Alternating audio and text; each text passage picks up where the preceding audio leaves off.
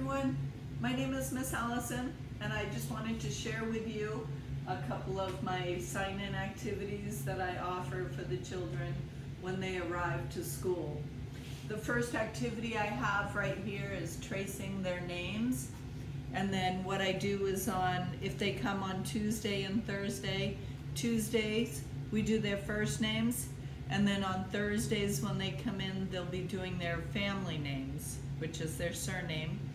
And um, what I do is um, I do in a light color marker on lines here, and then I have the dot with the arrows for the children to learn the proper way to write the letters.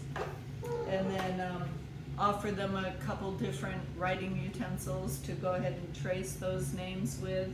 And then at this table, I also like to offer a small activity to the side for someone who might be waiting their turn.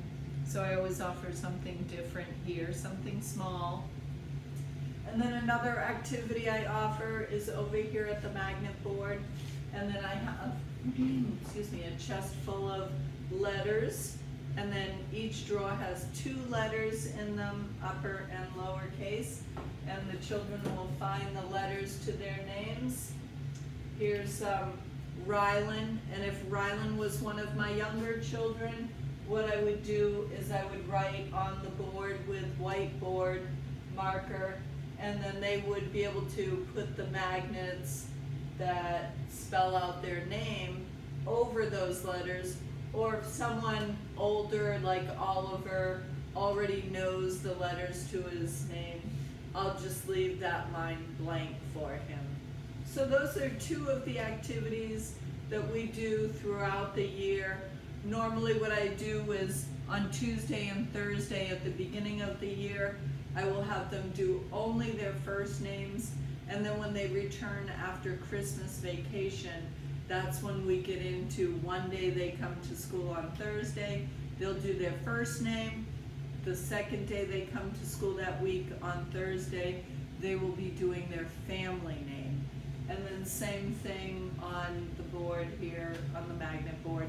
And then even later on during the year, what I'll do is I will have them sign in for one of their friends at school.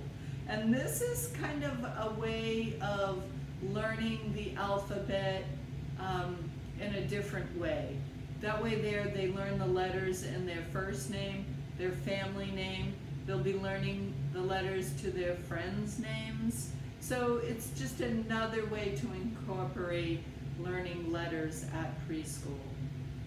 So that is, um, those are two of my sign-in activities that I do.